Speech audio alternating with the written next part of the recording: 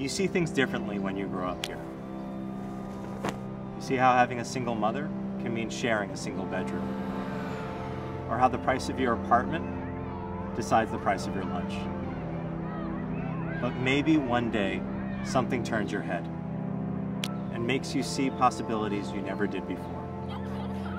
And you realize maybe people who see things differently are exactly what this city needs. Paid for by NY for Kallos.